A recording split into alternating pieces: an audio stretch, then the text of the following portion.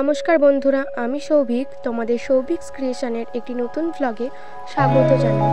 আমার ভিডিওটি যদি ভালো লেগে থাকে, অবশ্যই লাইক করো সাবস্ক্রাইব করো এবং শেয়ার করে দিও।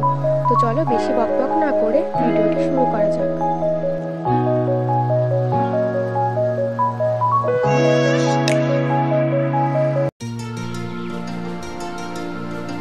এ দেখো, আমি এখানে স্নান করে জানলার পাশে বসে পড়েছি। এই সময় জানলা দিয়ে বাইরের পরিবেশটা দেখতে কিন্তু খুব সুন্দর লাগে। আর এখন যেহেতু আমাদের পরীক্ষা হয়ে গেছে এবং স্কুল ছুটি দিয়েছে, তাই আমি এই কাজটাই করি। এরপর দেখো এখানে অনু একটা পেন নিয়েছে এবং বলছিল আমাকে যে আমার হাতে একটু মেহেন্দি করবে।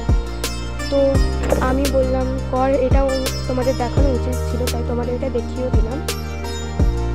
তো দেখো অনু কীরকম করে মেহেন্দি করছে।